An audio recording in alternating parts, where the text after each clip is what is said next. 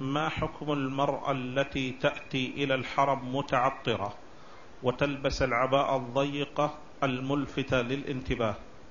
هذه متبرجة. الله جل وعلا يقول ولا تبرجنا تبرج الجاهلية الأولى والتبرج في الحرم أشد لأن المعصية في الحرم أشد من المعصية في الحل.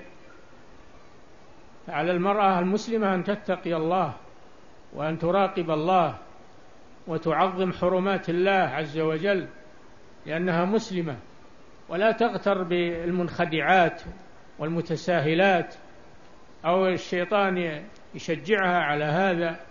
تستعيذ بالله من الشيطان ومن أعوان الشيطان.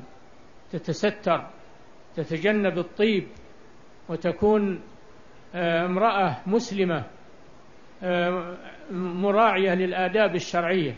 نعم.